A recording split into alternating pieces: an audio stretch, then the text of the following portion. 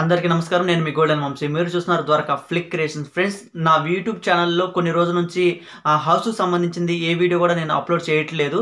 దీనికి కారణం ఏంటంటే కొన్ని కోర్ట్ కేసు కారణాల వలన హౌస్ సంబంధించిన కన్స్ట్రక్షన్స్ అన్ని స్టాప్ అయిపోయినాయి. జగన్ గారు కట్టిస్తున్న దాంట్లో.